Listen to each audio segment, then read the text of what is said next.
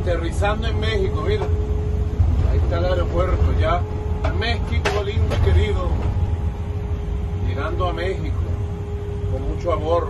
Hemos venido estudiando, trabajando las propuestas que vamos a hacer en la plenaria de jefe de Estado y jefe de gobierno.